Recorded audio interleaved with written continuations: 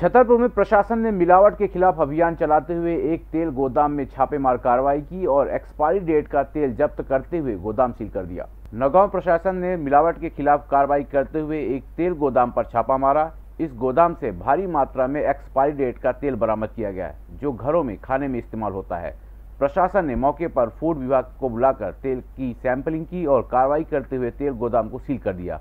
वहीं गल्ला मंडी स्थित खाद्य तेल की फैक्ट्री पर भी भारी मात्रा में एक्सपायरी डेट का खाद्य तेल बरामद किया गया। इस फैक्ट्री में रजनी ब्रांड का खाद्य तेल बरामद किया गया। प्रशासन की टीम ने कई नामी ब्रांड के रैपर भी जब्त किए।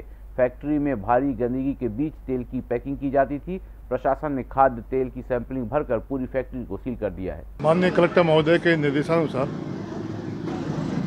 निर्देश प्राप्त हुए तो मिलावट खोर खिलाफ कार्रवाई करना है। इसके तहत में, हमारे तहसीलदार साहब, थाना प्रभारी, हमारा स्टाफ, फ़ूड विभाग से भी बुला के हमने तेल गोदाम पर कार्रवाई की है। कार्रवाई आपने देखा कि पहले राम कुमार अग्रवाल का गोडाउन उस पर कार्रवाई की है? या रमेश अग्रवाल गोडाउन पे आए थे, लेकिन इनके द्वारा ताला वाला घर का, घर पे भी सर्चिंग के लिए भेजा था।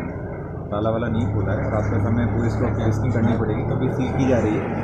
और सुबह सील को ओपन करके और उनकी जाँच करेंगे संगीत की स्वर लहरियों से सांस्कृतिक ताने बाने तक चंबल के पीड़ों से नक्सलवादियों के गढ़ तक झोपड़ी से महलों तक ठेलों से मेलों तक पगडंडियों से सड़कों तक गाँव से शहरों तक व्यापार से उद्योगों तक। राजनीति से कूटनीति तक। दखन न्यूज़। आपके हक।